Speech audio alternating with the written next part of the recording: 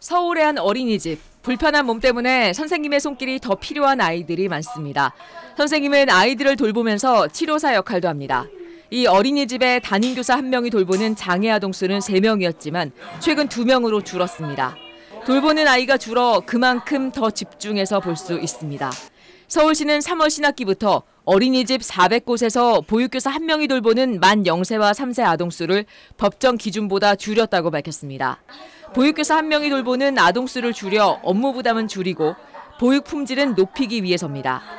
집중 돌봄이 필요한 생후 24개월 미만 0세 반은 교사 1명당 아동 3명에서 2명으로 만 3세 반은 15명에서 10명 이하로 줄이도록 보육교사 인건비를 시가 지원하기로 했습니다. 특히 장애아 전문, 통합 어린이집의 교사 대 아동 비율을 우선 줄여 장애아 보육 여건이 개선됩니다. 새로 선정된 국공립 어린이집 190개소 가운데 40%에 해당하는 76개소를 장애아 통합 어린이집으로 우선 선정했습니다.